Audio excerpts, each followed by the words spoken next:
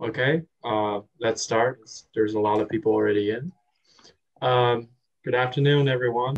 Welcome to this uh, first event of this semester's in conversation series. I'm uh, Tianyang Sun, uh, a third year student um, in the School of Architecture and today's student host. In conversation is a student organized format of discourse alternative to that of a lecture. By pairing faculties of the school into an interesting clash of ideas, we hope to generate discourse uh, uh, discourses that are that resemble those happening inside a third floor lobby and corridors rather than those on journals and podiums. We also hope that this brings some more conviviality uh, during our physical separation in this unusual time. Today we have Bryan uh, and Michael Young, both currently teaching at the School of Architecture. Both have uh, award-winning offices uh, based in New York City both having grown up in Southern California suburbia, both received uh, the Young Architects Prize from Architectural League of New York. Um, and both don't want me to talk for too long. So let me yield the floor to Bryan and Michael.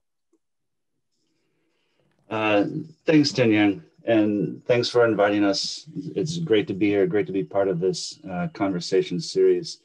I mean, as you said, and in how we're taking it as well, is this is not a format for a formal lecture. And, and by the way, as we enter into year two of all being here together, uh, Zooming with each other all the time, um, we're hoping that this is a little bit looser, a little bit um, freer, more conversationally based and fun. Uh, I know that usually there's themes for these conversations and there's no real overall theme for this today other than the fact that we're brothers and we're both architects and we're both teaching at the Cooper Union. And because of that, we wanted it to be uh, a little bit different. We hope that it doesn't devolve into too much of a kind of a reverie of our childhood, but some of that's going to happen. It's just unavoidable. Uh, the other thing is we don't want it to be a lecture about our practices. This is not a format for that. And so what we've decided to do is I put together 30 images. I sent them to Bryan. Bryan put together 30 images. He sent them to me. Um, He's selected 15 to talk about me, and I've selected 15 to talk about him. And it's going to kind of roll like that. So we're going to have stuff from our childhood, stuff from our undergraduate and graduate education, um, stuff from current practices, and kind of take it like that. Seems like it's a, a maybe hopefully a, a way to kind of reveal in a certain light. This is a student run lecture series, and I think hopefully maybe at some level it's interesting for you to, to kind of see a little bit of the ways in which threads and thoughts and experiences and environments have kind of carried over into the work we do now and throughout our life. Um, so Bryan, um, you know, for lack of a further introduction in, in some ways, um, this is my brother, Bryan Young. He was born in 1975 in uh, Marina Del Rey, Los Angeles, California. I'm Michael Young. I was born in 1973 in Inglewood, California. We grew up in LA and uh, moved to Orange County in the early 80s. And a lot of our experiences in Southern California in the 1970s and 1980s experience in, impacted and inflected what we do and how we think about the environment, how we think about architecture. I went to Cal Poly San Luis Obispo for undergrad, then worked for an architect, Peter in San Francisco for six years, and went to Princeton for graduate school. And 15 years later, for 15 years um, from now, started teaching at the Cooper Union. Um, Bryan went to Berkeley, worked for a number of architects in San Francisco and New York, Allied Works, ARO, uh, went to the GSD for graduate school and started Young Projects um, 10 years ago, Bryan? Almost 11. 11. And my own practice, uh, Young and Ayata, was started about 12 years ago. So I don't know if we need anything more than that. It's just kind of like basics. So do you want to share your screen, Bryan, and go for it? Yeah, that's great. Um, thank you, Mike. And actually, before I start, thank you, Tianyang, for organizing this. And of course, um, thank you to the Cooper Union and Dean Tehrani. Um, I'm, I'm, so grateful to get to be involved with such an amazing school. Um, the students really are amazing. Um, and also, do you see my screen? Yes. Yes. All right. And also, thank you to my brother, Mike Young. Um, certainly, uh, my business partner, Noah Marciniak, has been an incredible influence on the architecture we produce at Young Projects. Um, but through years of conversations and dialogue, I, am sure that nobody has influenced the work that we do more than Mike, certainly from the perspective of uh, having an older brother who has consistently uh, helped me understand, in maybe the simplest of terms at times, ways in which the work we're producing fits into a larger uh, contextual environment of philosophy and theory. Um, whether it is conscious or unconscious, one way or the other, the two of us, I think, have directed our careers in different paths in the sense that I'm likely first a practitioner, but I've taught for a dozen or so years, and you're likely first um, an academic, although I think your practice is unbelievable. Um, and I guess just one other thing, Mike mentioned that this is going to be pretty informal. Uh, we're going to be showing images and places from California and influences from family and ideas about music. And I think we may have found, um, in many cases, uh, ideas that have stuck with us that we might have engaged when we were younger. In other situations, these may be forced connections, but I think that's okay for us. And we want to share that with you guys and in a way give you a window into our work that you might not otherwise have. Um, so with that, I give you Mike Young, or Michael Young, as the Cooper Union knows him. And this is an image of Mike in Cal Poly as he is I'm going to get some of this wrong, but I'm going to go for it. Completing his undergrad architectural thesis, in which he built a full scale um, environment in his own studio space at the school. And I think, if I'm correct, when it was reviewed by critics, he rolled himself in saran wrap, put a microphone up to a broken speaker, and kind of rolled around on the ground. Um, and regardless of what that was about, I can tell you one thing that was about spectacle and a, a, kind of visual event. And I think that permeates into a lot of the architecture that Young and Ayata have created is this sense of a kind of graphic moment. Um, this is a photograph from the Los Angeles Museum of Natural History, where our grandmother on our father's side was a docent for several decades. And we spent countless days in this museum and she would take us into the archives and she would show us the different ways in which um, species and animals have been stored. And maybe even more for me than for michael um, i would say this idea of cataloging and collecting and organizing and then representing um, was kind of fundamental to uh, who i was as a kid and, and how i think about architecture. And i can remember being uh, mesmerized by the ways in which different species are kind of encoded with certain graphics or certain geometries. These are the Sleestaks. And in some ways, this isn't a lecture, but if Mike uses this image to start his lectures, I think it's very appropriate. Um, Sleestaks were on a television show in the late 70s, and they, they without a doubt were the scariest things I can remember from my childhood and they're uh, part reptilian, part humanoid, uh, intergalactic creatures. And in some ways, the fact that they are these kind of hybrid uh, species, I think, is really relevant to Mike's work as he's creating hybrid architectures. But I think the more useful reference point for this image is really the kind of expression on the Sleestaks faces. And I would say that this is kind of how Mike wants you to um, feel when you engage his architecture. It's a moment of awe, it's a moment of shock, it's a moment of confusion, but not necessarily fear. It's what's going on here. And I'm not quite sure what's going on here. And maybe this is a good transition to some of his work, um, starting with the still life. And certainly Mike's interest in objects and the estranged object and speculative realism. But uh, lost in that conversation, sometimes I think are really incredibly rich ideas about tectonics, ideas about coloration and pattern and texture. And in the end, what is so special about an image like this and what allows the object to oscillate between being both foreign and at the same time kind of at home within this context are these qualities of, of the surface and of its um, developing tectonics. And so it's with these eyes that you come upon this, and then you come upon this. Um, and it's with this mentality that I think that the pods or, or the vessels of, of the Bauhaus project are beginning to engage in urban context. And I almost see these very similarly to those eggs that have been collected, and that from the exterior, you can understand these as a series of quite different um, vessels that have come together to form a series of clusters. And they're specifically interested in this distinction between the various objects.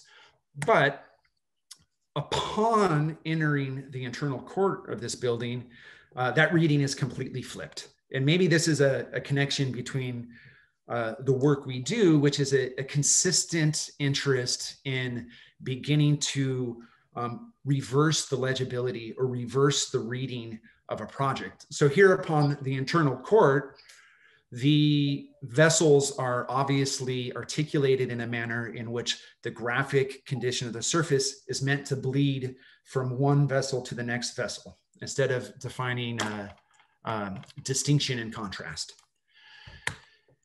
And so in pulling these together, I think that comes in part from coloring. And while we both would say we love Dungeons and Dragons, I think the reality is we probably only played Dungeons and Dragons a couple times, but we spent an insane amount of hours in coloring books with Prismacolors, mixing colors, coloring in the lines, coloring out of the lines, finding ways in which to make it architectural figure ground relationships were beginning to emerge precisely because you couldn't quite understand where an edge might exist.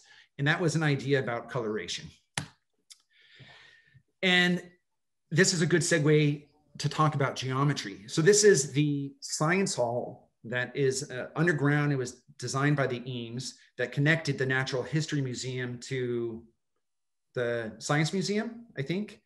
Science um, right, and and so here you see uh, in the foreground. Actually, let me get on my annotate. That would be good. This model and this kid who isn't Mike because he doesn't have a big afro, um, but it's a model that's articulating um, Desargues' theorem. And in Mike's own words, he's talked about that theorem more than anybody else. And it, it's an idea about projective geometry in which uh, a series of relationships over projected space begin to become contingent because of uh, a system. Um, and it, it's somewhere in here, whether he saw this or not, that I think Mike's interest in geometry uh, was perked.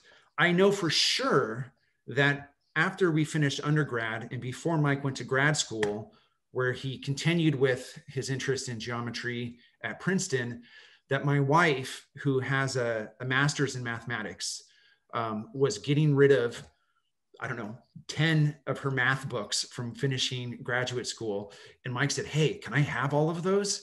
And I think he read all 10 of those math books. And so this kind of intense interest in math and geometry, um, I think really merged with an idea of spectacle and graphic. And, and what's interesting to me is that uh, he's really doing it.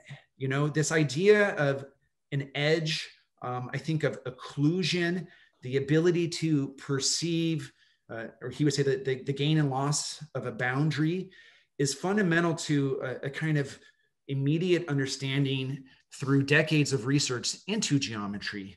So in a drawing like this, which is a mapping of Borromini uh, Sant'Ivo, and in some ways, I think it first is a mediation to generate a notational system that allows you to read what's happening in the geometry of that uh, cathedral and within the dome that otherwise you might not be able to perceive.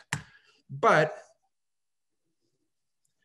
next it becomes in a way, a diagram that's different than a notation because it's a diagram that's put in place specifically with the intent of promoting new conditions.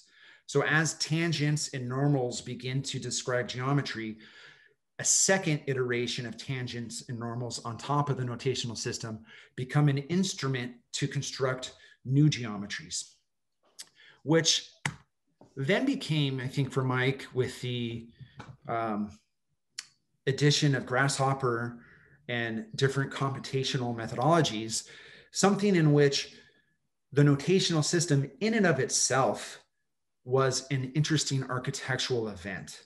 Um, in the construction of atmosphere, in his interest in discussing sensation, in the interest in uh, kind of optical phenomena.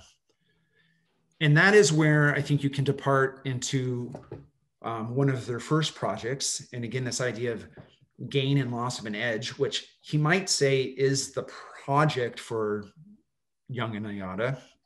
Um, and it's really interesting when I look at this project and think about this idea of where the boundaries are and these apertures that have been pushed into the building. And what I enjoy so much about it is actually that, again, it kind of leads to a tectonic. Tectonic in the sense that the, the vertical striation of the board form concrete versus the horizontality of the slab are critical in terms of defining these rule surfaces going into the building. But then if you look at it long enough, you start to realize that maybe those tectonics or that hierarchy has emerged out of these transformative moments within the building, that it's not a series of windows being pushed in, but that it's a series of concrete planes being pulled out. And so it's this oscillation again that I find really fascinating in a lot of their work. And I especially love the image on the right, where just for a moment, you don't know how far these windows go. And they could keep going all the way in. And it's that kind of lack of uh, legibility or the creation of ambiguity through very thoughtful geometric uh, procedures and through tectonics that begin to create an incredible engagement with the architectural object. And then here's an interior of that project. And I, I mean, I still look at this, I don't know what's going on. Um, and it's, in my mind, an idea about understanding relative geometry in a manner that has so skewed your ability to kind of perceive what's flat um, versus what's canting that it, it puts you kind of in a state of, of you know momentary confusion. Um, i was looking at this and it reminded me mike when i was getting ready to talk today of uh, the knott's berry farm uh, magic house house, mm-hmm. if you remember that. So I looked it up, and that house was actually called the House of Strange Phenomena. So I just wanted to let you know that that's what's going on in that house. Something improbable is happening. And um, I think he's after capturing the improbable or creating the improbable in many of his projects. And so here, this is a this is a restaurant in LAX. And actually, I think I was born in Inglewood as well, but that's not really that relevant. Um, we were born right next to the LAX airport. And um, on our mother's side, our grandparents lived adjacent to LAX. And I can remember with my grandfather often going and parking the car and watching the planes take, take off and going to this restaurant on many occasions and, and this being the kind of first strange building that we ever interacted with. Um, and actually looking at it, I think there's elements of the Busain Opera House happening in this building. Um, but it's also, I think it's interesting to Mike's work that the building is something you look at, but then you go inside and you look out. And that's what happens in this building. And when you look out, what you see is the freeway. And when you see the freeway, um, I think that is uh, kind of fundamental to our upbringing. This idea of being in the car, this idea of engaging suburbia, this idea of engaging Los Angeles. So uh, this is Mike Watt um, uh, from the Minutemen, somebody who, from a punk rock perspective, was hugely influential on uh, our interest in music, but also, I would say, our interest in engaging a creative process. And. Thanks. That, that was great. Um, all right, so now I'm gonna, do you want to unshare and then I'll share? yes, I'll do that.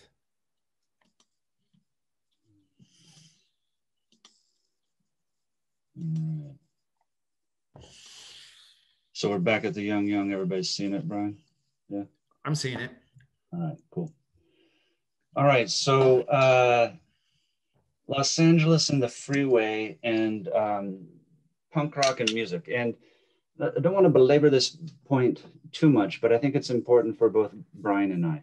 So here's an image of Fugazi, the band from Washington, D.C., at the Hollywood Palladium in 1990. Um, there's an important thing that happens. Uh, every generation at a certain level, I think, believes that they're in the moment of transition where everything is that's going to become important for culture in the future happens. Um, and, and we're not going to make any sort of large claims on that for our generation, but uh, for whatever reason, the, the, the music that came at the end of the 80s, right into uh, the transition to 1990, which now for some reason or another people call post-punk, or people call the emergence of alternative music, or the people will describe in um, other manners for what it began to do in the 1990s, was crucial for us. Uh, in 1989, I turned 16 and we start to drive to Hollywood, Bryan and I, and we start to see shows uh, as often and as frequently as we can. And I can tell you without a doubt that in 1990, Sonic Youth at the Whisky A Go Go changed my life. I'd never seen or heard anything that loud, that noisy, or that um, sort of uh, um, confrontational in terms of its aural aesthetics in my life.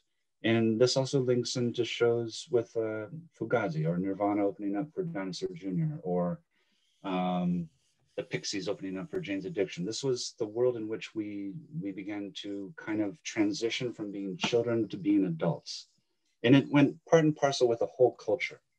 Here's Bryan uh, catching air out of levels in 1987. Uh, there's a couple reasons I'm showing this. First of all, skateboarding was huge for us. Uh, Bryan was also a much better skateboarder than I was. There's there's something to be said, and it's um, I think that the at some moment people begin to realize that they're being as influenced by those who are younger than them as those who are older than them, and uh, I think for me that happened very early on in in my childhood when I realized that Bryan was influencing me, pressuring me to uh, change and to grow and to think about things that I was doing in my life, and and that was because he was often quite uh, a bit better than me at almost everything. And I actually would include architecture to tell you the truth. So, but there's another reason why I'm showing you this. We grew up in this kind of fringe edge interface between a growing suburbia in Southern California and the start of the high desert. Uh, this for us was kind of nature. Um, both Bryan and I think are afraid of forests. We didn't spend a lot of time camping or going into uh, densely wooded areas. And so there's something still about a, a lot of trees that is kind of off putting and a little scary. But deserts are all right. Deserts are kind of uh, weird in terms of what they present as a sort of navigable, navigatable wilderness terrain. And one of the things about the environment that we grew up in and its relationship to nature was there's always these things, infrastructure, water infrastructure, culverts, drainage ditches, um, some sort of hunk or chunk of concrete or piece of lost industry that was abandoned and decrepit and lying there within um, the environment. And I think that's kind of always conditioned in a certain way the, uh, our understanding of a relationship between the natural and the artificial and the infrastructural. And of course, when you come into these things, you have a skateboard and you use them in a, a different way than uh, the water would, or maybe other people would. And I think that relationship to the environment uh, as a kind of mediation through something like a skateboard has been with us throughout our entire life as well. Back. And, uh, yeah.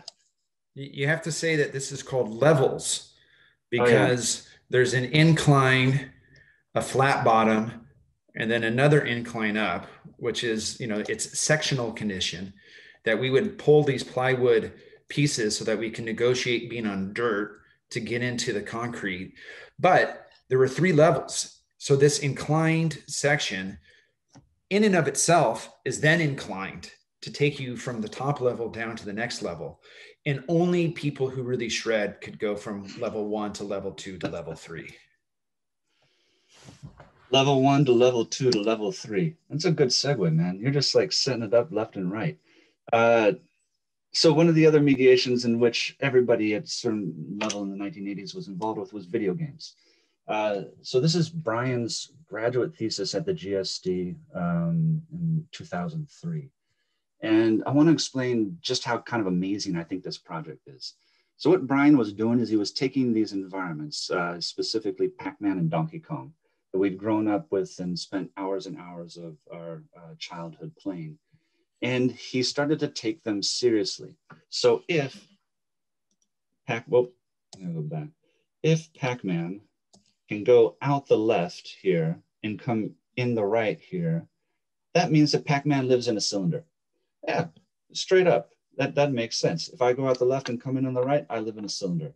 And so Bryan started to just play each of those rules, each of those sorts of uh, situations that exist within the video game environment and try to find their spatial or architectural or formal implications. So Pac-Man lives in a cylinder, uh, makes a model of the maze, the labyrinth in a cylinder, wraps it three-dimensionally around. And what you're looking at in the model on the right is a kind of oblique section cut through that cylindrical model of Pac-Man. There's also all these other rules that he begins to identify. If the ghost's eyes are looking the other way, you can move under the ghost, and that means that actually there has to be multiple layers. So now the maze gets multiple levels, multiple layers, and they kind of intertwine with each other and um, further complexify the spatial situation of Pac-Man. He also did things like look at Donkey Kong, where if uh, the if the gorilla can throw Donkey Kong can throw a barrel down through the through the levels through the ramps, it means that there's a hole. It means that the ramps aren't actually stacked on top of each other, but they actually have to shift or stagger from uh, plane to plane. A lot of what Bryan's identifying here are a set of rules, a set of systematic rules that have absurdities to them. So that when one begins to play the game, you're not only just interacting with a character and an environment and scores that you're trying to beat and levels that you're trying to reach in terms of your own um, sort of uh, skill in the video game environment. You're also participant in a series of absurd rules. And you're going to play that out as a character once you know and how to, how to navigate them and how to understand them and occupy that virtual video game environment uh, as a kind of projection of your own inhabitation. And I can see this in his architecture, the architecture of young projects. Uh, there's many instances. I'm just showing one here. This is the, the guest house down at Playa Grande in, in the Dominican Republic. But within it, there's a series of formal rules, a series of formal operations, a series of systematic decisions, yet they're played um, until they run against a glitch or an absurdity or an impossibility and that then becomes its formal spatial and in this case also its material articulation of color and tiles and patterns on its, uh, on its facades and on its edge. And that in and of itself begins to become an architectural expression. Uh, you set up a series of rules, you play the game, and you find out when and where and how those rules begin to produce effects that you could not predict in excess of the system you're operating within. Another thing that Bryan and I did throughout our childhood was we built a lot of forts. And the weird thing is we probably built most of our forts inside. And we probably built most of our forts with sheets and or blankets hung on strings to create a kind of draped uh, cavern-like world of interiority. And this sort of expression, this sort of draped surface is in a number of projects that both Bryan and I um, have developed throughout our careers. For one, just as an example, the six square house that Bryan and uh, his office completed just last year has this sort of incredible billowing roof, uh, a roof that to me is, is reminiscent of the, the world of draped fabric, of draped sheets throughout strings that kind of billow down and connect these spaces in their ceiling. Now, in relationship to the video game and its glitches of systematic rules, this, this sort of surface that combines and fuses everything together on the interior from the exterior is essentially um, six squares, six squares with gabled roofs that have been rotated against each other that touch at the corners and begin to play. You begin to, we don't have the plan here, which you, you can probably see and um, understand a little bit from the, the massing that we're seeing in this photograph. And that has a tie back to those kinds of systematic games of play uh, where rules are put in place and chance operations begin to have an effect on the expression of the architecture. another contact and, and it's uh, important just to stress how you know in a, in a weird sort of way influential the museum of natural history was on us. We spent a lot of time there as brian has, has already said. But uh, one room in, in particular importance was the hall of minerals and this relationship to uh, crystals to geologies to geometry, not just in its abstraction and purity of uh, mathematical expressions, but also to the ways in which it happened and happens through material processes, processes that involve chemical reactions, physical reactions, reactions of, of thermal relationships, and just the kind of insane beauty and unpredictable spontaneity that sometimes these crystals would have. There's also this question of the vitrine or the portal to another world that's somehow in the display case. Bryan was referencing this earlier with the archive he showed from the Museum of Natural History. I think you can see something like that in this loft that Young Projects did in Tribeca. The outside, a garden is dropped into the inside through the roof as a kind of portal to another world, a vitrine, in a way uh, that's capturing a kind of slice of nature that is an artificially nature, an artificial nature that has been jacked into the house, but the house then surrounding it and relating to it from every different uh, aspect of its public spaces and making it accessible as part of the daily life of living in the city in this case.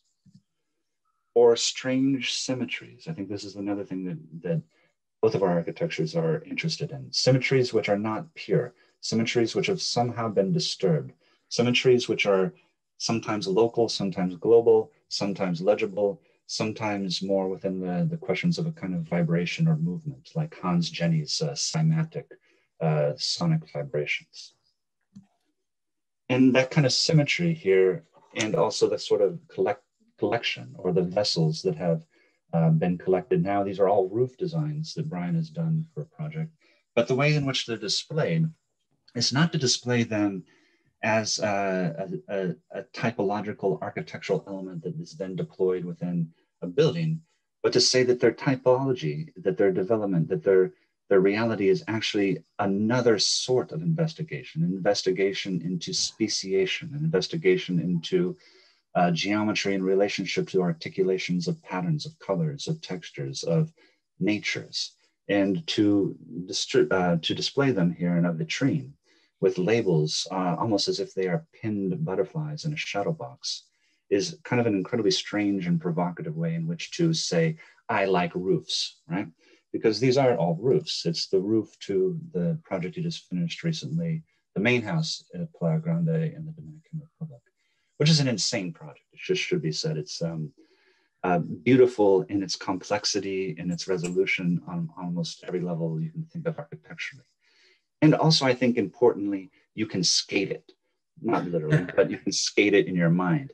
And I think there's something to this here with a, with a lot of our products and, and uh, this roof, um, especially, they are built out of a certain kind of movement of surfaces, ruled surfaces, uh, surfaces that have both curvatures and cusps, edges that uh, bleed into each other and combine and fuse different uh, planes and that is the world of the skateboarder at a certain level. This was the image we decided to choose uh, to put on the poster for the, the, the, conversation today. And it's from um, the Upland Pipeline. If you don't know the Upland Pipeline, this is it rebuilt by Vans a few years ago. But when we were kids, we would go to the city of Upland and we would go to the pipeline. And there's a great story of going here the day after Christmas where our uh, mother fought with the owner of the Upland Pipeline to get us uh, uh passes to come in there because every kid in Southern California had a new skateboard that day um, was there to skate the pools.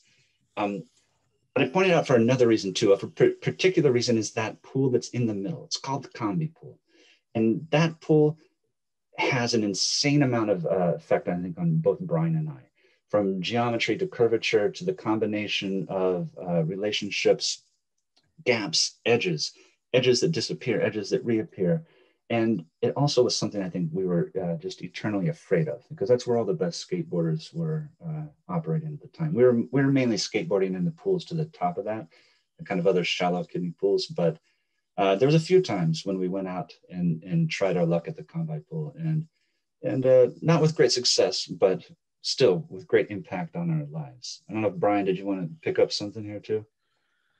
I mean, it's a it's a figure that um, I think is relevant to our work. I think maybe more your work right now. Although the six square house, I think deals with this as well. But this strange pool that merges a square, a rectangle, and a circle together, and the kind of resultant geometries that come out of that. Um, and we, I wanted to show this um, because we had the Combi pool um, as part of the poster for the introduction. So, but to see the Combi pool in context, you have this was called the snake, which ended up in this huge bowl. And then there's a series of kind of much more gentle pools on one side. Then there was the full pipe. Um, I did that one time and I ate it. And then this kind of landscape, um, and really, I bet we only went to Upland two or three times. Uh, but it's always been like a kind of profound environment that's stuck with me. And and looking at this, and then looking at Young and Ayata's site plan for, um, you'll have to. Oh yeah, that there it is.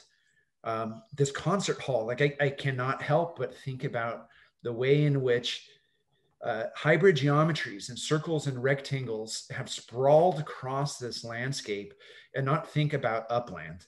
Um, and again, this is maybe one of those forced connections that I'm talking about.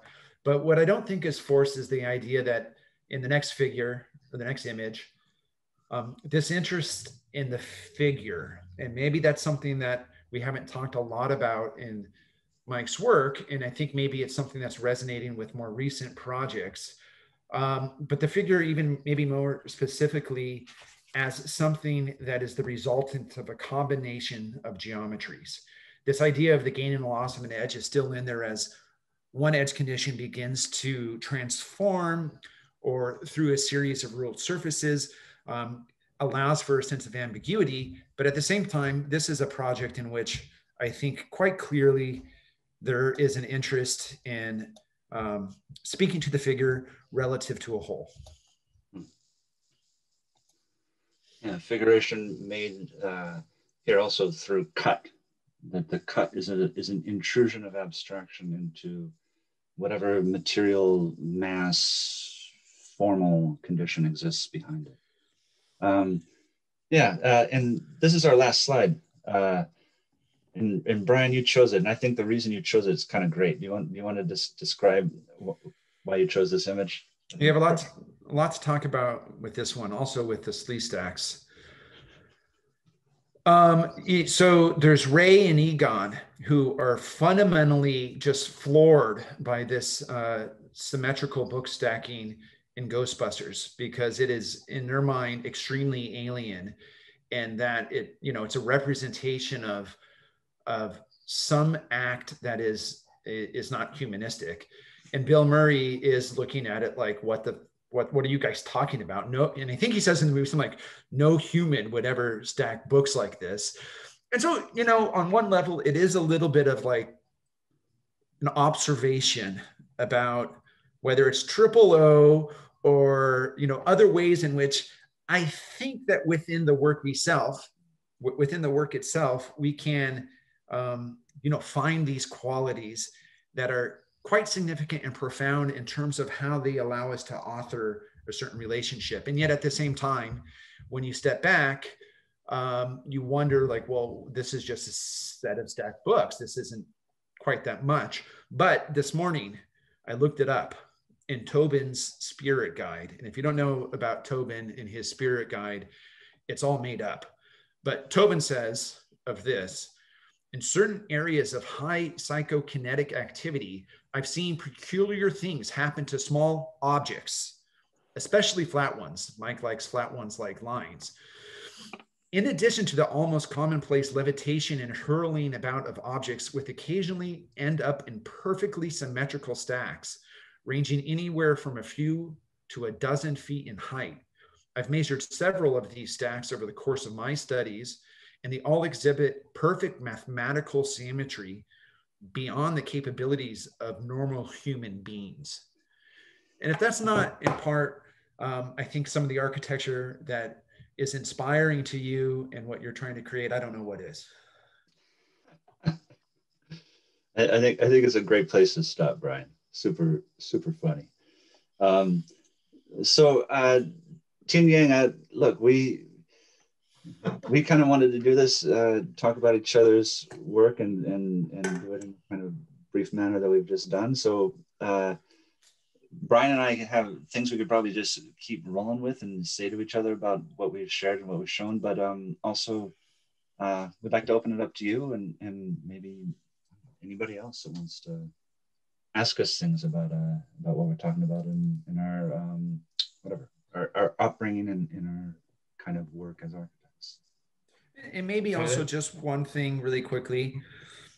While we've showing while we've shown um, moments, locations, places, images, music that were inspiring to us, we we did make a point um, that I think is relevant to both of us to show work that we did when we were in school that still is connected to the work we're doing 20 years later as practitioners and teachers.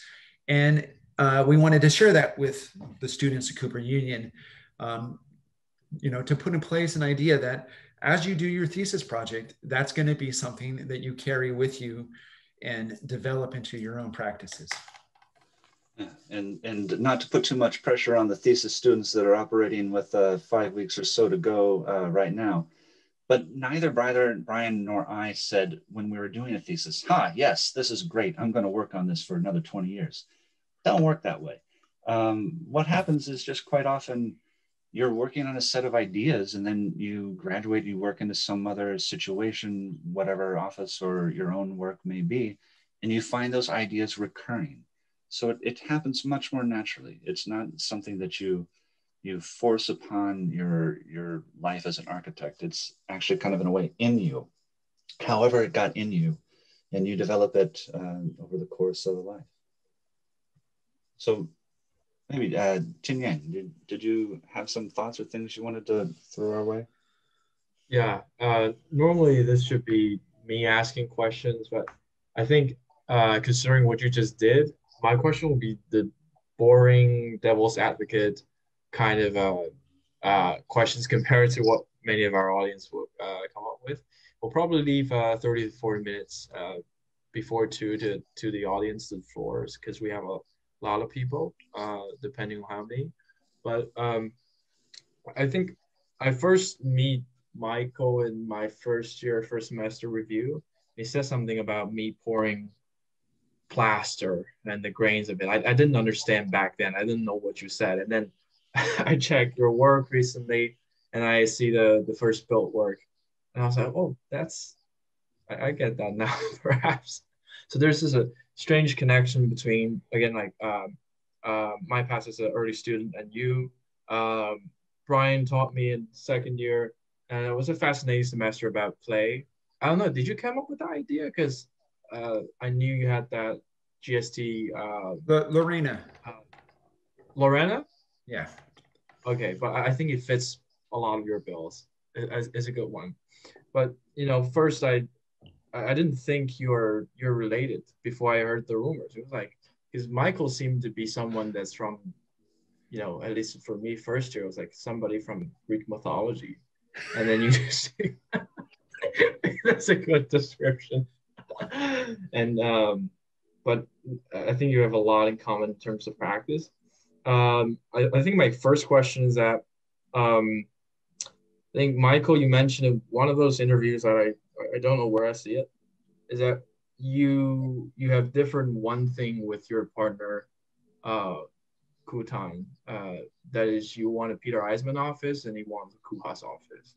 Mm. Does that still exist? And you know, what, what side would you take, Bryan? Well, yeah, to just uh, to explicate that, that that came from an interview for the the student journal at Pratt, where there was a series of questions asked to Kutan. Kutan Ayata is my partner at Young and Ayata, and uh, and I think it's maybe indicative of something that that speaks to partnerships in architecture. I think Bryan would would maybe agree with this or not, but I think it's when one goes into practice and starts to develop an architectural studio I think having a partner, having a colleague, having somebody you're working with is crucial. Um, I think it's just it's super important to have one that you're somebody you're talking with uh, in a kind of long um, array uh, of ideas over time. And uh, for Kutan and I, we shared a lot of similarities, a lot of uh, common interests and common concerns. But there came this question in the interview of, uh, would you go um, the line of Peter Eisenman or would you go the line of Rem Koolhaas? I myself, I, I said and, and still believe and would choose Peter Eisenman and uh, Kutan chose Rem Koolhaas. And I think actually that kind of difference, enough similarities, but then differences of opinion on specific aspects of architecture uh, is important. And, and, and that's where that kind of question came from. I don't know if Bryan has, has a, a decision on, on that or not. Uh, I started my practice um, independently, and uh, there's a lot of reasons for that. Um, and I do have a partner now. I mentioned at the start Noah Marciniak and Mallory Scher, who is a third partner. And you know, in my mind, it's very different from maybe Mike and Kutan in the sense that uh, I Mike and Kutan, while they might have different interests and work um, in a different manner, I think they are pretty united in how they fuel the work of the office. And um, in young projects, I think the partners maybe play different roles. And part of that, I think, is the edu- uh, dedication to, um, to building, to making material prototypes, to think about craft and detail and tectonics, and realizing that there's a, a, a really critical skill set that Noah, for example, brings to the table that has allowed a lot of our projects to be built. Um, as for Peter Eisenman or Rem Koolhaas, I don't, I don't, I don't know. That's not a kind of question that I understand. So I, I don't know. Is this I mean, something like or column or bean? You gotta choose one. Like it's like you're not gonna play that role.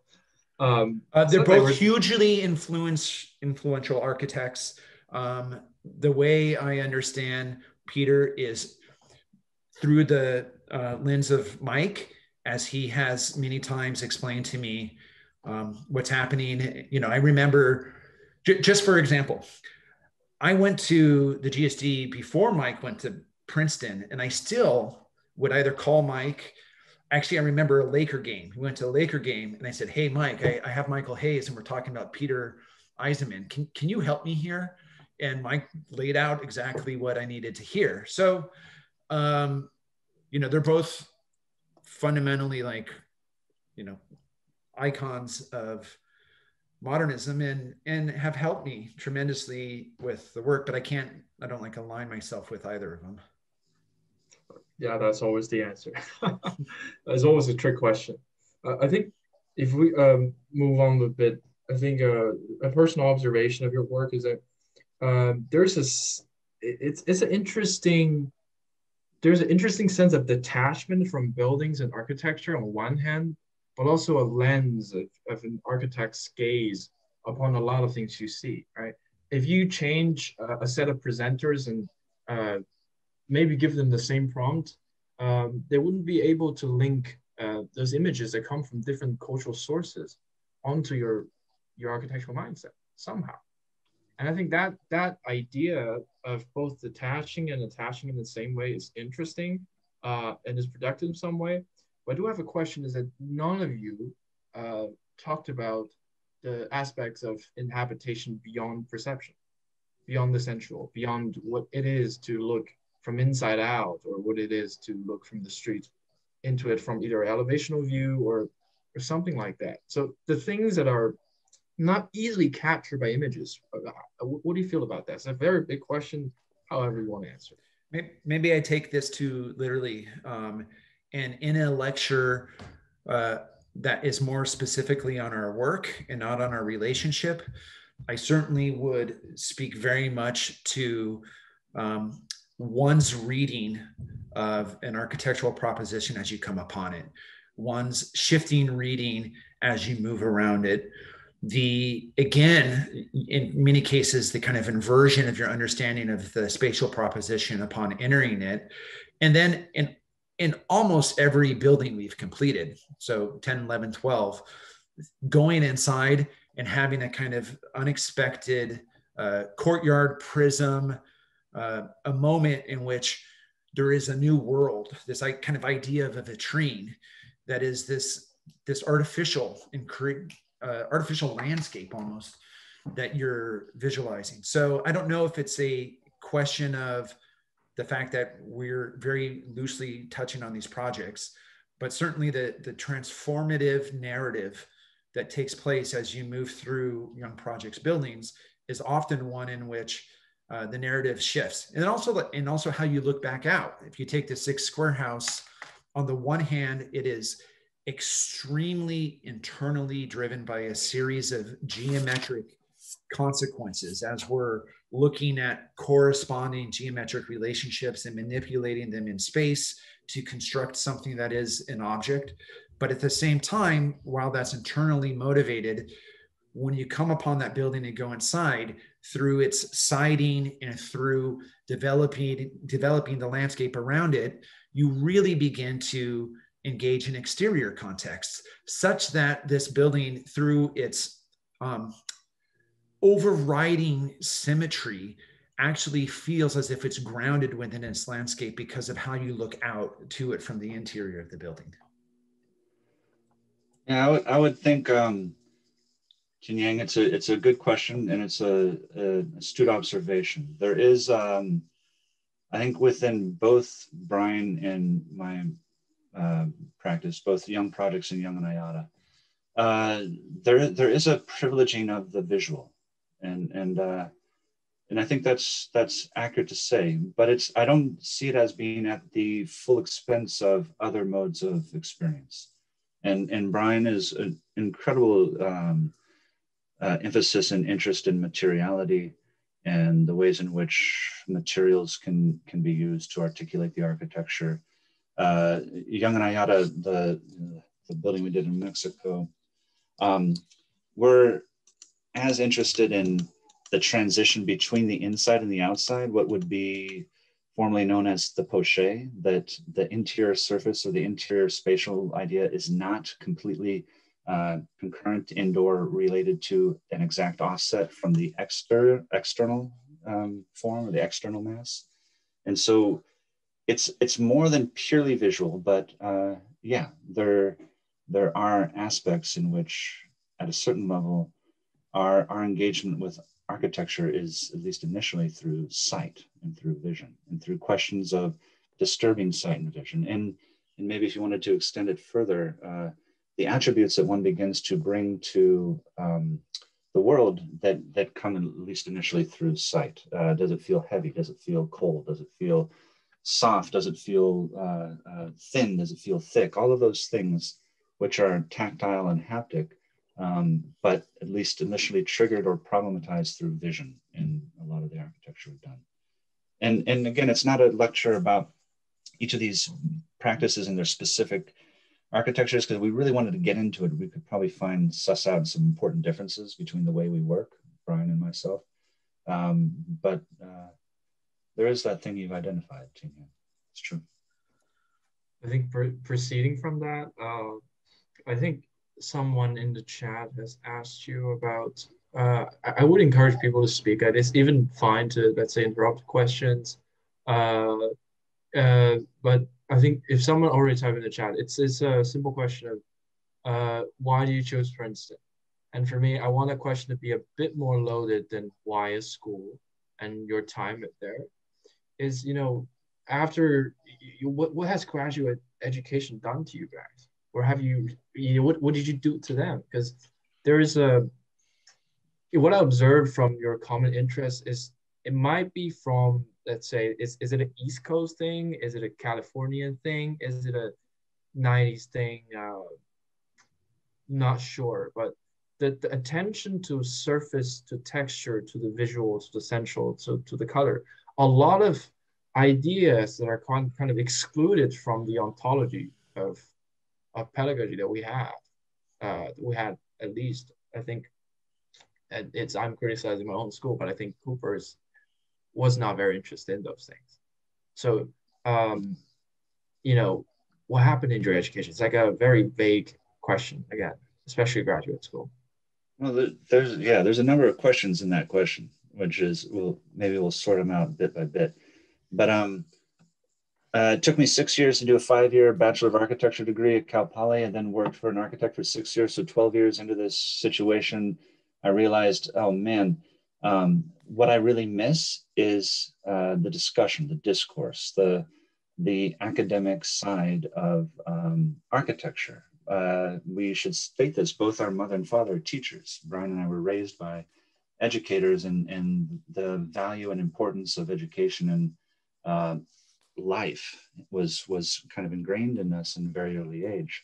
And so I went to graduate school because I wanted to get into teaching, uh, just as, as straight as that. Um, and Bryan, you might have a slightly different answer.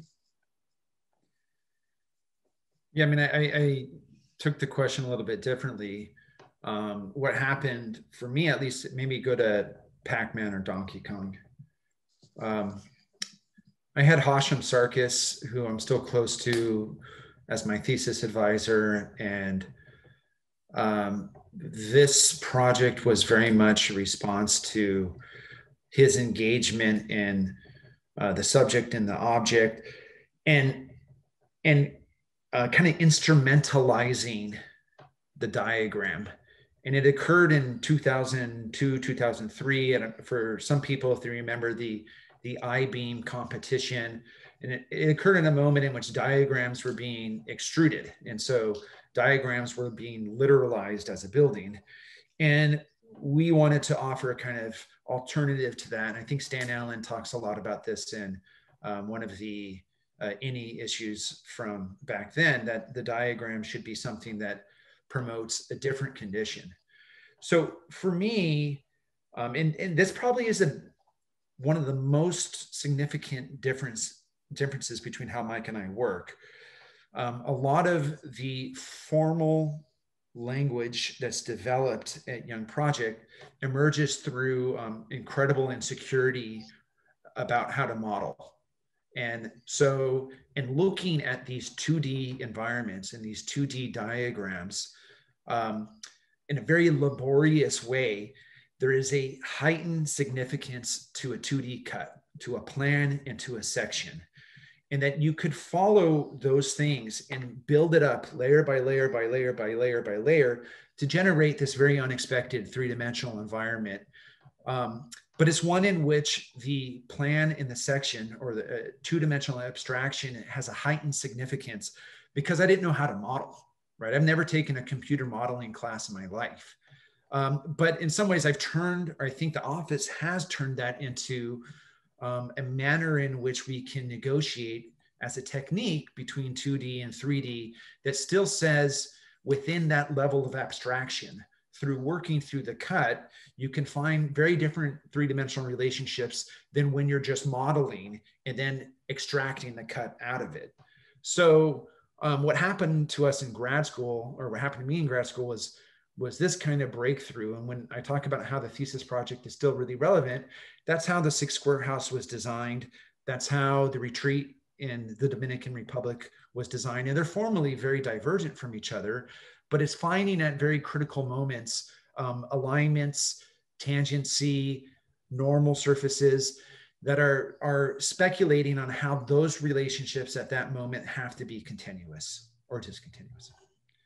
So that's my ramble that probably didn't get at what you were looking for. I think I think this is precisely the questions. Uh, uh, the questions I'm sure are not meant to be completely answered because in some ways I, I don't know what I'm asking.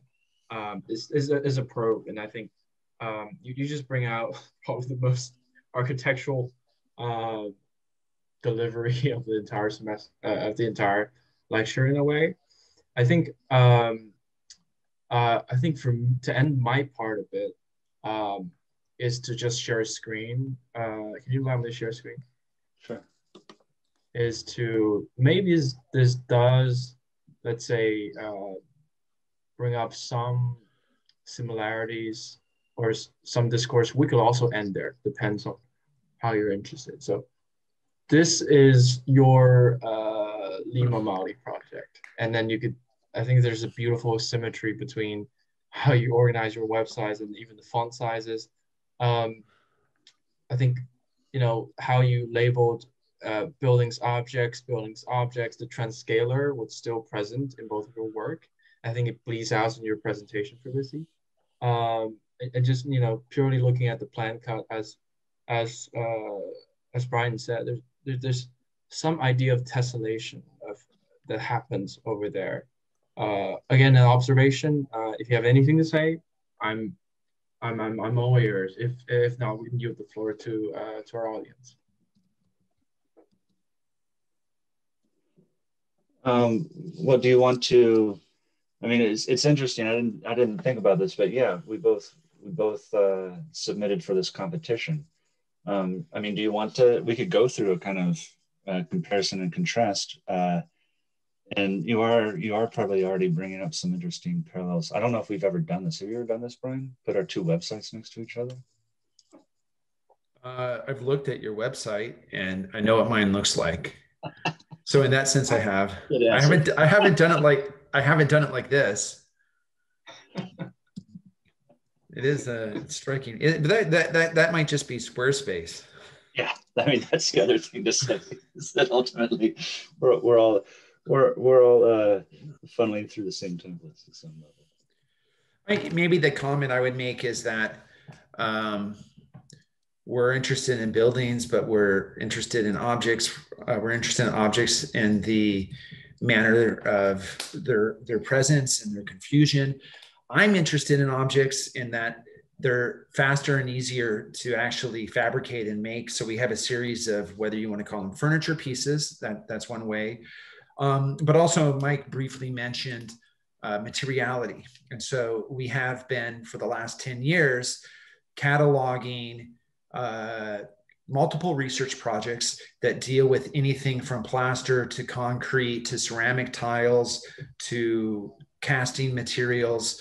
And we are, I'm happy to announce, we're have a series of tiles that are going to be released by Paola Lenti, the Italian furniture line. And so I think maybe in my mind, the difference here is the way in which we consider objects and research um, versus I think perhaps how Mike is looking at objects. Yeah, for us, uh, we see architecture as a, a, multimedia investigation. So drawings, objects, buildings, writings, those are all part of what, what we're investigating at Young and Ayata. And and we see it as being interrelated with uh, our teaching deeply. So questions of how to use and abuse image making, how to use and abuse 3D printers, how to how to think through the technologies of representation and, and other media that we're involved with as architects. We'll work on that in the studio of Young and Ayata, and then we'll work at that in our, our teaching in studios and seminars and back and forth and in and out of each other. It's uh, it's a it's in a way, all of these things, drawings, objects, buildings, it's not that they all are privileged by leading towards a building, but that the building is one amongst uh, the many the many forms of media mediations that we work at as architects. Um, Maybe Ting click on research on my side, which I think might align more to objects on my side. In the research, we're looking at um, these material investigations that almost always involve things like mixing, baking, casting, um, intense heat, ways in which Mike says, uh, what, what, what did you just say? Disrupting? And I don't know what you, you use the word. I'm going to say breaking a system of fabrication. So for the pulled plaster panels, we looked at a traditional technique for making panels and we, and we kind of recreated that. For the palmcrete, we looked at a way of casting concrete and we kind of broke that. And it's a way to think about um, loosening an approach such that there's a sense of arbitrary entropy, a lack of control in order to allow material aesthetics to emerge out of a process of formaking. I think that's that's actually probably something uh, where there's a difference, there's an overlap and a difference that could be teased out in an interesting way. because I think that when when we're investigating things like material qualities, like if you click on the the objects that are called donkeys and feathers, or on our side, it's the the blue uh, to the left of that, yeah, that one. So, so and for us, if you kind of click through some of those, these are experiments in, in 3D printing. So the material is plaster, but we don't want you to see plaster at all. If you just keep clicking to you'll get through. We want to, through an effort of color, material, texture, ornament, decoration, articulation, relationships and misalignments between the form of the object and the articulation of the object, we want you to think it is made out of something that it is not. We want you to think it has reality in terms of its materiality. And that materiality is not the, the plaster that it's actually 3D printed out of. Um, so, so at a certain level, there's a, there's a similarity there where Bryan's experimenting with making techniques of construction or techniques of material do things that they hadn't done previously. Um, but still, I think there's uh, a kind of groundedness in Bryan's work where it is it is still materially tied to the processes that those materials go through. Um, for Young and Ayata, and this might go back to your comment, Tingyun, that that relates to um, aesthetics and, and vision, but we're actually trying to make you uh, think that it's not what it actually is. And I know that sounds like it's a little bit mean, but it's it's more in line with uh, I think what architecture constantly puts into play, which is it's constantly putting us into situations where the realities of the environments that we're inhabiting are put into doubt. And we begin to think different thoughts and experience different relationships to those environments, not based on them somehow being true to their materials, but by the ways in which they uh, ask us to question what is something like truth to a material. I think it's, it's very well said. Uh, going across your work, it, again, there's many, many things you can say about it, but um, I think a lot of architect brothers, not a lot of, but the, I think some architects choose to team up with their uh, either brother or even father um, in certain ways, and, and there's a kind of continuity in there. But it's interesting to see, you know, for me, this is a this is a kind of contested symmetry uh, on my screen. Um, hmm. you can see parallels, but also very creative differences uh, and stances you take.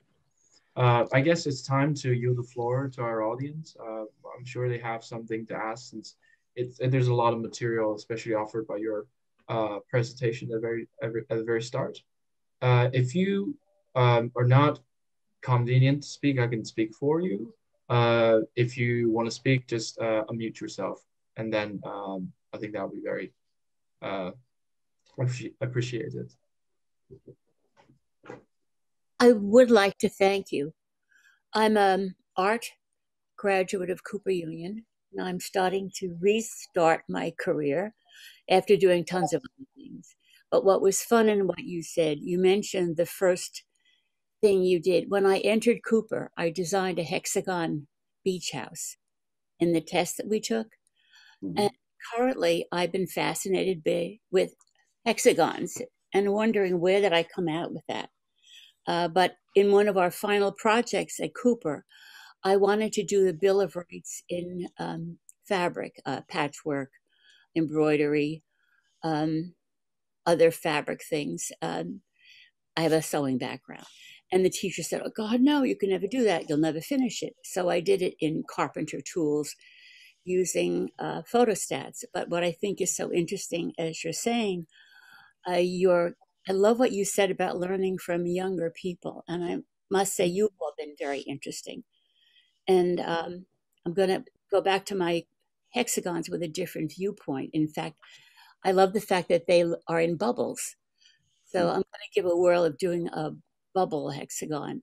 And then uh, to the students, um, it's so interesting to see um, I love the fact that you're talking about art, which I don't think I've experienced before. Especially, I went to night school. I was working in an agency, advertising agency. So we didn't really talk about the metaphysical um, conceptual ideas in art, and I think they're so interesting. Right now, I started to read the uh, Artist Spirit by Henry uh, um, Smith. May I think he was in, he influenced David Lynch. Mm-hmm. Uh, so I think it's so interesting. Also, I guess to read. I'm very lucky to be able to reinvent myself. Uh, but uh, thank you very much. I really had a wonderful time. You've been very just what I needed today. Thank you. Thank you. Thank you. That's great.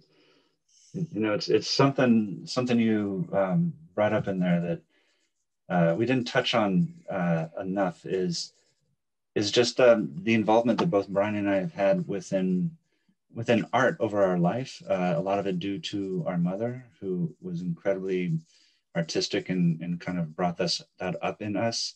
But also, and I wanted to to kind of mention this, and so thanks for bringing it back to my mind, Dagmar. But um, for instance, Bryan and I learned about Russian constructivism through Paul Peralta.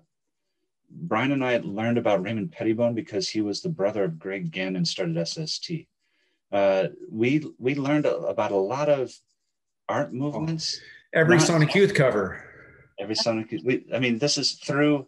Uh, I mean, Gerhard Richter. The first time we we we we thought about Gerhard Richter was Daydream Nation album cover. This is so. I guess what I'm what I'm bringing up by that is um, there's something uh, I think all of us in, in every way begin to become immersed and enmeshed in aesthetic cultures, not necessarily through classrooms, but through our kinds of involvements with uh, with you know the kinds of passions that we experience in our in our day-to-day life. And when those things kind of come together and, and, and resonate in different ways, I think it's important for us uh, as as architects to kind of acknowledge and, and sort of understand that that that is part of what architecture brings to the world. It's it's part of its possibilities is is uh, opening up alternate aesthetic experiences, not by enforcing some kind of um, let's say necessary theory, uh, but to, to say that yeah, all of this skateboarding, music, uh, textiles, uh, quilting, uh, graphic design, posters, it's all kind of uh, cook in our environment and, and it's kind of making people think things and do things in different ways. Lovely.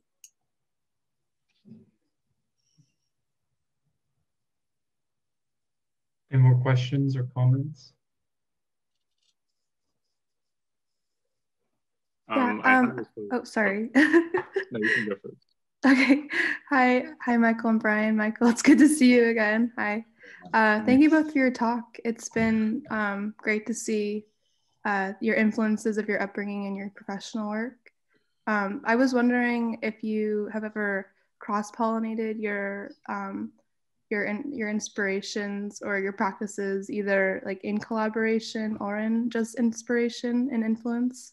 Um, it's been great to see how you two have like diverged in your work, but uh, I'm wondering if you guys have ever converged at all, or if that's a possibility for the future. Um, Ting can you click back on the websites? I don't know if that's possible. Or I'll just try to describe it. I'll give you an example. Um, my Young Projects has been doing this material research. This is a good place for a long time. And it's interesting that Mike described in his vessels how um, he doesn't want you to know that that's plaster. Uh, but I can distinctly remember driving to New Jersey to go to our accountant that we shared when we used to do this little pilgrimage once a year.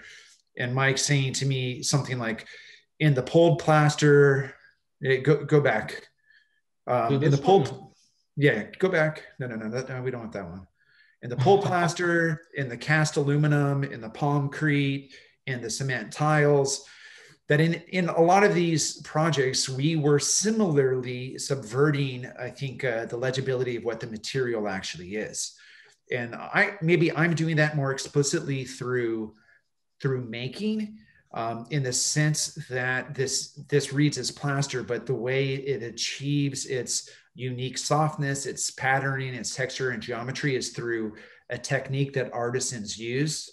Um, but i can say that that comment from Mike saying that unlike maybe the pantheon of modernism in which you have board form concrete in which the wood that is used for the formwork and is encoded within the concrete surface or seeing steel ties in concrete or seeing like very articulated joints that so clearly articulate what you're trying to see from a tectonic perspective um, has absolutely inspired the way we think about materiality with the explicit intention of trying to create a little bit of ambiguity relative to what the material is through the process that it's making. It may not be that you look at this and you think, oh, that's not concrete, but it's a concrete that's behaving in a way in terms of its geometry and in terms of its texture that's a little bit different. This, for example, is a, a cast concrete wall in the Dominican Republic that's a 70 foot span with no concrete ties where we cast into the palms of uh, fallen palm leaves on the site. And so the material investigations that we've taken on very much relate to comments that Mike has made to us. Um, and, but I find it striking that, for example, Mike is looking at uh, similarly generating a kind of confusion or ambiguity of what the material is, but he's coming at it through a very different methodology in which through 3D printing, through color, through articulation, it's disguised. Whereas in our work, it's coming out of um, the actual prototyping of these pieces. Yeah, I, I, think that's true. But to Elena's question, we did do one project together. Yes, we did do that. you can put um, it up. Yeah. That your the, the, the, hive, that hive. Yeah. yeah, we did that early oh, on. Why is it on your website now? then? it's on both our websites. oh, really? Yeah. Oh, it's under, it's under objects. Ah. Wait, so how did this work? This was there was an idea that that there would be an alien yeah. alien insect hive that would yeah, come, would be on a roof in Tribeca. And yeah, alien insects. Yeah. You you'd come out and you would see this, and, and now there's a um, a, uh, a, a beech tree that has started to kind of grow around this a little bit. And and ideally, just for a moment, you could look at this hive and say, what what insect is growing in that hive? Um, that was the conceptual conceit. In hmm. terms of execution, I think the geometry in part came from looking at a kind of wilted leaf in the Dominican Republic. Um, in terms of the execution, of course, Mike modeled the geometry. Um, I would not have been able to do that. But it was a it was a great project. It was. It was, and it's uh, it's I mean, at a certain level too, it's of its time. I mean, 2010. That's 11 years ago.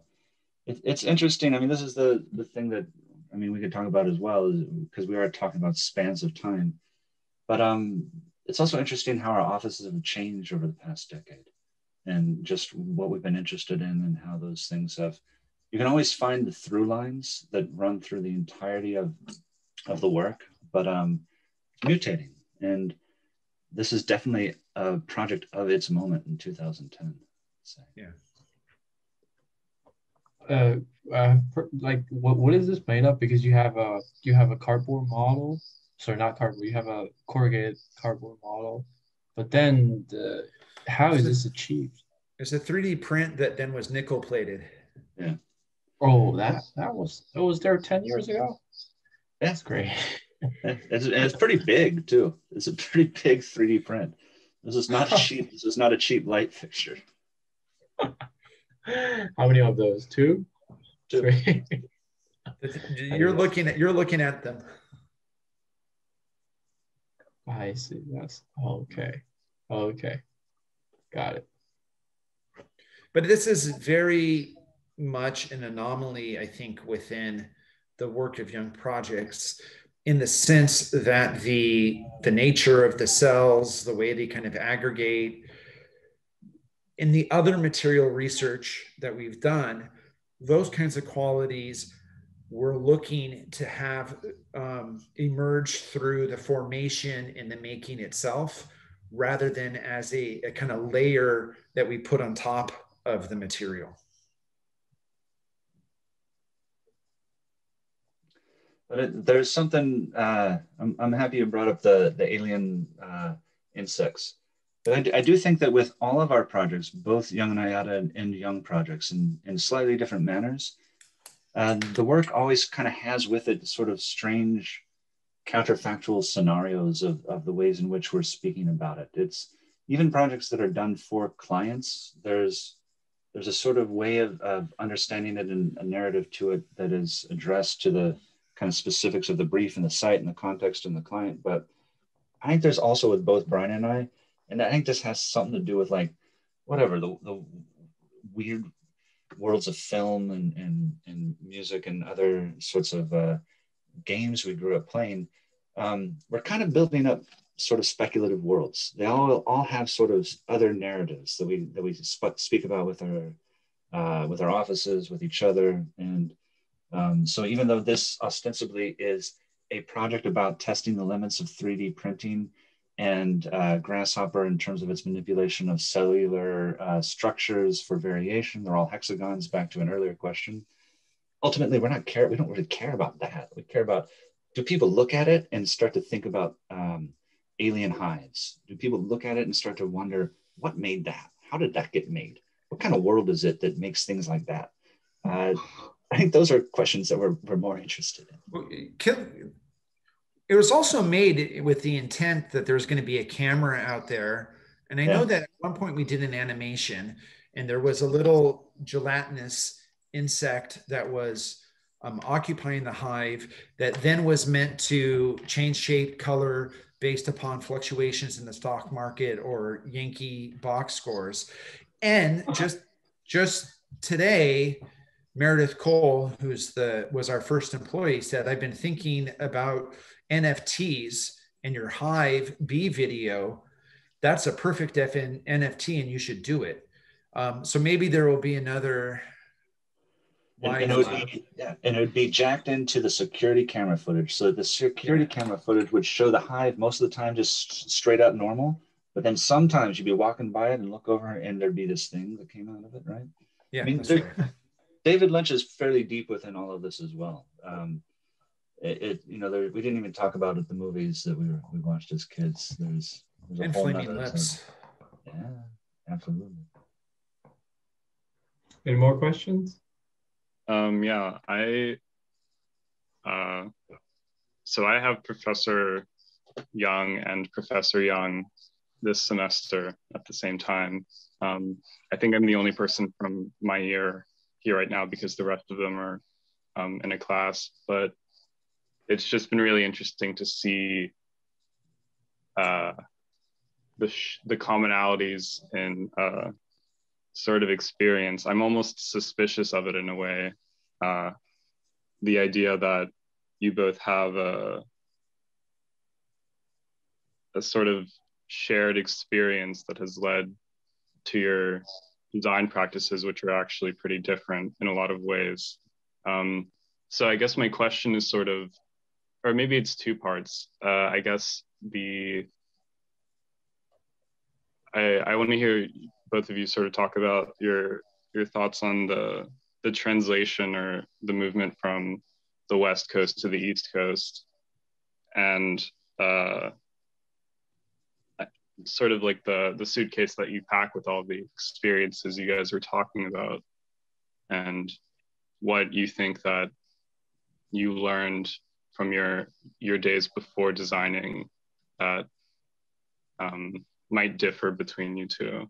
And also maybe i guess the question of i mean you are bro- brothers after all so uh, any significant kind of argument that or arguments that you two have had that um, that might uh, be insightful to the differences between your practices Thanks. Yeah, that's a good question, Andrew. Thank you. And and uh, you know that's it speaks a little bit to Bryan's point that some of the connections between our work, um, I think, are are fairly deep and fairly. Uh, at a, at one level, we share genes and, and parents and, and live together for the first 18 years of our lives in, in specific environments. But um, some of the connections are, are, are more speculations on a current sort of conversation about how we see the work that we're doing now and how we can see it in relationship to each other. So that so the differences are, I think, important to also maybe identify. Um, so I don't, I don't know. What do you think, Bryan? I mean, at one level, uh, we both came in the early 2000s from West Coast to East Coast. We both came to go to graduate school. I do think there's a difference between the GSD and Princeton. And I do think that actually that difference uh, is still kind of in, in a way resonant in the way we speak, words we use, arguments that we uh, are interested in, or ways of forming arguments that we're interested in. So there could be a conversation about the differences between the GSD and Princeton in the early 2000s. Um, but there, there are some other differences that maybe we can tease out just about the ways in which we approach practices or having an office or teaching even too, if we wanted to get into that. I mean, what, do you, what do you think, Bryan? What do you see as some of the differences? Um, I mean, I guess for me, going to the GSD, and for example, I had Preston Scott Cohen's first option studio, and it completely changed the way in which I thought about form. Um, the question came up before about Peter Eisenman and Rem Koolhaas, and I could have, I would have absolutely my first year at the GSD said Rem Koolhaas, as I thought much more about urbanism and about program and about juxtaposition. And by the time I was graduating, I was thinking much more about form and geometry. Um, look, I don't know. There's a lot of differences and a lot of similarities. Yesterday, when we were looking at this, and you broke down your thesis project um, analyzing Borromini, I said to you, I can't believe how similar our thesis projects are. And I said that because you were devising a technique in which you could layer by layer by layer by layer by layer use geometry in a new way to begin to decode what's actually happening within that building, within that cathedral and the dome. Mm. And that's exactly the methodology that was deployed for understanding Pac-Man. I'm not saying Pac-Man and Borromini are the same, but in Pac-Man, we I, I had to wrap it in a cylinder. I had to offset it and stratify it into multiple layers. And then I had to go painstakingly layer by layer by layer by layer and layer to extrude them in order to construct this environment.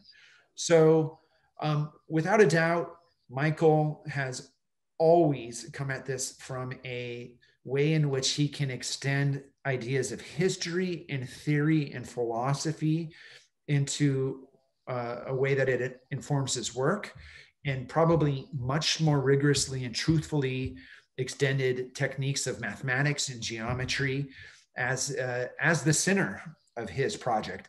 I don't know if that's a Princeton thing. I think that's a Mike Young thing. Um, for me, it has been these are things that I found interesting, funny, and inspiring. And how can I, with my limited knowledge and techniques, turn them into something I haven't seen before? I don't think that's a specifically GSD thing. That's just how I'm doing stuff. So I don't think we're answering your question, Andrew.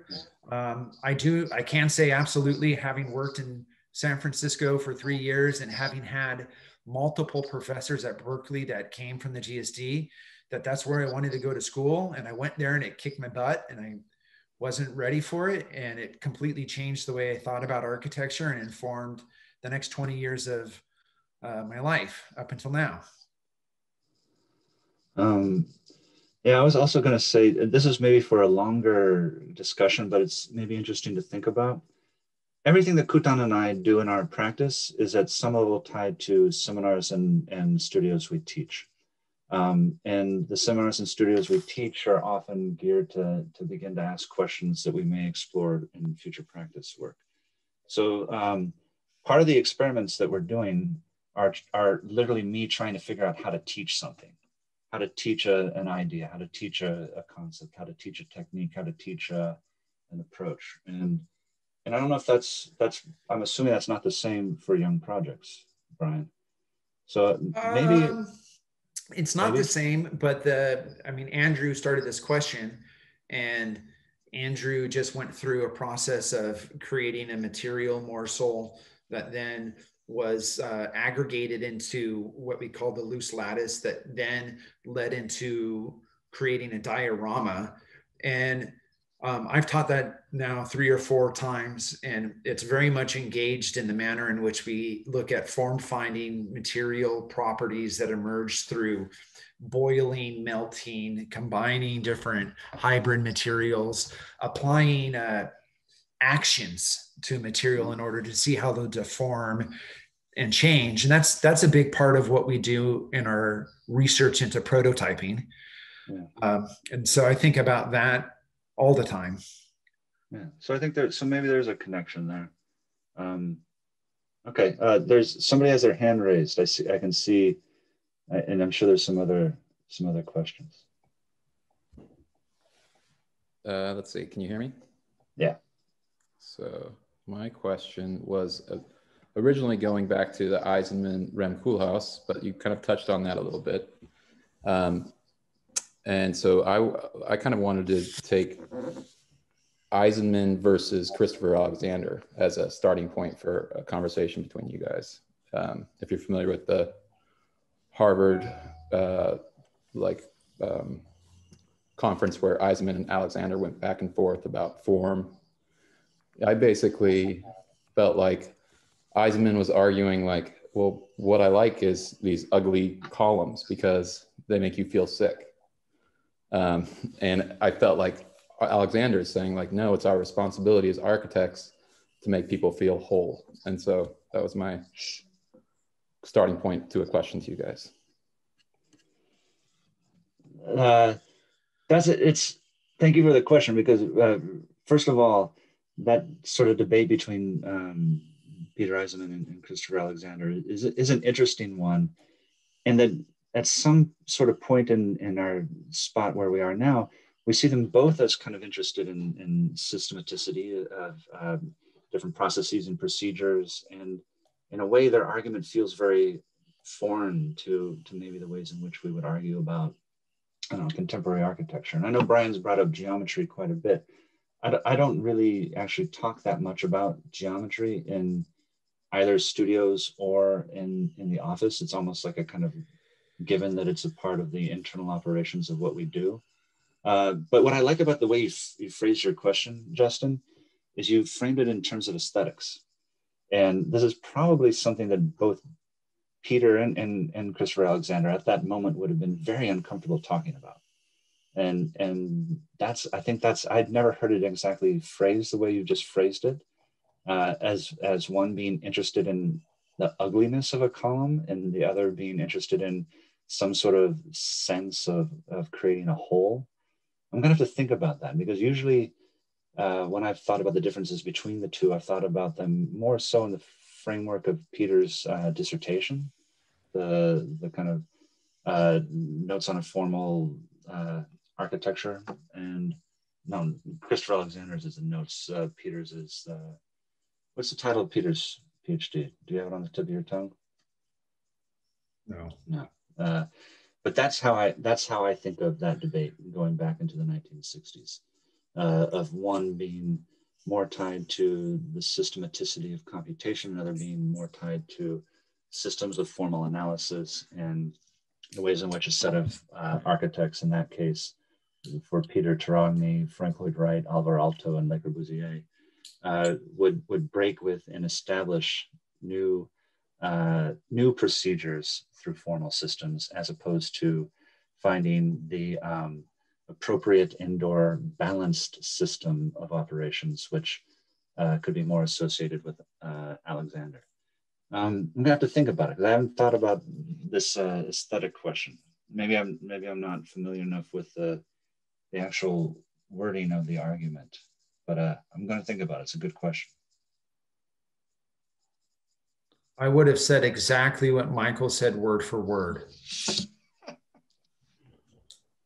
Yeah, I mean, there's something, there is something a little bit, I mean, I started, uh, I do have serious questions about that, but I didn't started thinking about it from the perspective of uh, post punk. And it's like a lot of that music is also, it's not like trying to be a symphony, you know, it's like it has something else to convey. Um, and, and I, I sort of think of Eisenman in this context of like a scientist who's just like, I'm interested in whatever. Like I feed someone this, their leg goes numb. I feed something this, their stomach goes sick. Like ooh, interesting. Like all these variations. It's like he has actually no care for or concern for how a regular person experiences it or whatever. This is my obviously take on it. And it's like Alexander's like, well, no, I want to feed him like a nice like meal. And you can argue about whether Alexander's successful of that in his own work, but his the whole how he talks about his work is definitely about like that's what I want to do is make sure that uh, people are, are nourished in that way. But it's like, yeah, I mean, that's the okay, that's it. Okay.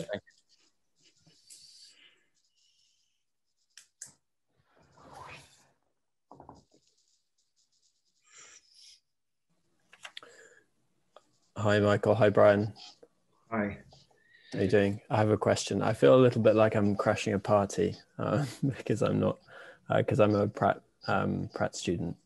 But uh, thank you for the fascinating discussion. Um, both of you have touched a little bit upon how, well, we, you've talked a lot about how your lives together um, and, and the world around you has influenced the way you see architecture and the way you practice architecture. Um, but I think it's, I, I'm interested in hearing what you have to say about um, how those experiences have helped you to express architecture back to the world, which obviously is a really important part of even being able to thrive as an architect in order to be able to um, operate as an architect to even put your work out into the world to have that kind of privilege if you like. So um, how how would you compare and contrast your attitudes towards expressing the architecture in a, in a way that is meaningful to, to the to the world outside of architecture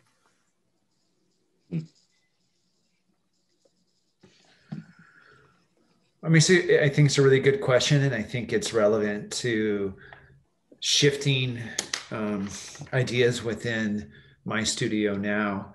Um, there have been a lot of uh, building projects that have been primarily residential. And in those projects, they've afforded a certain, um, I'm the luckiest architect of all time, but these experiments into materiality in which we can speculate on uh, hybrid materials, material aesthetics that are, are a little bit foreign, as ways in which you can draw people into an architectural proposition through this sense of the uncanny, through the sense of not necessarily knowing what it is you're looking at. And that's an idea about spatial ambiguity.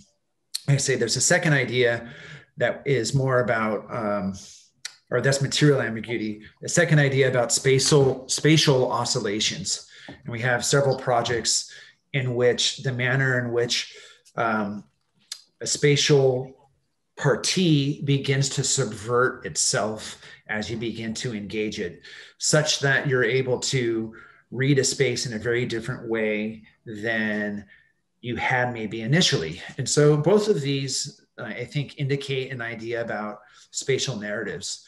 So within our work, there is a desire to engage users by beginning to, um, in subtle ways sometimes and in more uh, distinct ways, change the manner in which they understand the architecture that they're engaging. And that that's fundamental to creating um, something that allows a user to look, see, act, interact with other people a little bit differently. Um, in a lot of the new projects that we have, the scale and the programs are jumping. So we're doing a community center in the Dominican Republic, um, a housing project in Colorado that has 120 units. We're going to potentially be doing some pop-up retail work that's experimenting with different materiality. And so I think we want to take a lot of the same ideas that are about engaging users in ways in which it will promote interaction and, and, promote precisely because we create these kind of unexpected environments, but do it in a way in which we're thinking more directly about sustainability and putting that at the forefront of the conversation, and more directly about kind of community involvement and how people live together, which is a, a really exciting shift to move from uh, primarily residential work to hopefully community-based work and in, in uh, institutional work as well. And I just say, um, architecture is in the background. Uh, it's in the background of our everyday lives. And so what we do as architects is we adjust that background um, and propose it to be other than than we assume it to be. And and if we can do that as architects, if we can if we can um, alter its possibilities for the ways in which it appears and behaves, then maybe we can understand different ways that we can share this environment with each other. And, and so that's what I see the, the project actually of, of architecture to be in its most um, in its most sort of uh, general way in terms of how it relates to the politics of the world. Um, I, I, I, just got a note that uh, uh, Yang's connection is unstable and that we're uh, supposed to be wrapping up here pretty soon or pretty shortly. But um, I guess maybe is, is there one question that somebody has out there that we want to use as a last question or I don't know if Tin Yang wants to ask the last question or or how we want to exactly wrap it up. Um, hi, uh, Michael and Bryan. Can you hear me? Yes. Yes. Hi. Um, I just love uh, your work and seeing how it all wrapped up. I, what I love about architecture is how like we can just create something and then see it come to life. And um, I recently saw um, architect Mark Foster Gage's work, and I saw about how um, in, in, New York, in New York where he designed a like a gothic um, a gothic project a, gothic project that focused more on on detailing like I believe it was like stone masonry and I I, I just think it, how interesting how like we kind of departed from uh like less ornate structures into more like simplified and more um, more modernized structures. And there's kind of like a stigma behind it, how people started hating uh, modernized architecture because it kind of like withdrew, withdrew away from that more classical, more neoclassical style that we've seen uh, before the before the turn of the 20th century. And I just want to know, like, do you think that like what is the future of architecture? Do you think that it serves the purpose of art, or do you think it serves the purpose of function and that it will pay more attention to practicality? Well, it's uh, thank you for the question, and uh, and yeah, absolutely. There's there's things and shifts and changes that have happened over the last hundred years, and and some of the points you bring up are are interesting points about how do we understand the appearance and, and of uh, modern architecture of contemporary architecture. I, I for one don't pit the two against each other, the yeah. the ornamental or the functional. Um, I, I, see them as continually working in and out of uh, in and out of each other, and that they all kind of come together within the the question of aesthetics. And so for for Young and Ayata, it's it's quite often this question of aesthetics and the aesthetics of realism, particularly, which is a much longer, much more involved uh, question. I know. Um, I don't know, Bryan. Do you have something you want to? Yeah, I don't see them pitted against each other at all. And if you look at the work of young projects, I think you could see moments in which something is, you know, the quintessential modernist partie of a, a cantilevered plane that is there to provide solar shading. And then you can look at something like that plaster ceiling that you put in place that it is really about ornamentation, but it's about a kind of confusion as well. Um, ornamentation in a very different way. So I think these suggested oppositions are uh, not oppositional and they work together um, I think we're at an exciting moment precisely because I, I feel like less so that these are boundaries by which architects need to associate themselves.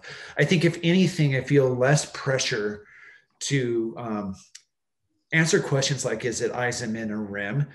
I feel less pressure to be part of a certain camp and more um, the capability of kind of engaging a, wider body of uh, potential ideas, aesthetics, spatiality. Um, and so that's tremendously exciting. And I think it all needs to be done in a lens that's in incorporating ideas of sustainability and social justice. And um, those are going to become, at least for young projects, and are becoming for young projects, an increased uh, heightened development in what we're doing.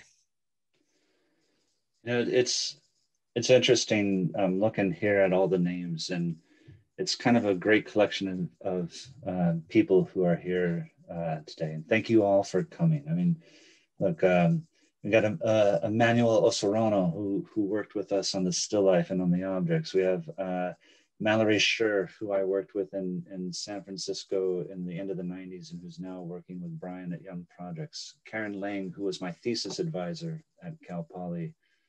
Um, Kutan Ayata, my partner. Uh, uh, Nor, who worked for both Young uh, Projects and Young and Ayata. I'm kind of calling everybody out. I know I don't mean to be calling you out, but our mothers here, our wives are here, our, our kids are here, and uh, that's just cool. It's just oh, and, my uh, sister-in-law's here in from France. Yeah. Hi, hi, Ingrid. Awesome. All right. Sorry. And, and so, yeah, so it's not. Uh, and and I think that we've been kind of told we have to wrap up because there's things that are about to happen here in in a few minutes. So even though there's a great question about urbanism that I think Bryan and I would want to say something about, uh, I think we kind of have to uh, call it a day for today. And uh, there's some interesting things that the questions have raised that I think Bryan and I are going to be thinking about for quite a bit. Yeah, thank you. But, uh, but thank you everybody for coming. And, and as Bryan, it's been kind of great to do this. It's the first time we've ever publicly talked about each other's work, and and so it's it's it's been interesting. It's been kind of yeah. There's Melissa Shin. Melissa Shin was a student of mine. Uh, worked with me. Like there's everybody. Yeah. Thank you guys. Thank you so Thanks, much. Thanks everyone.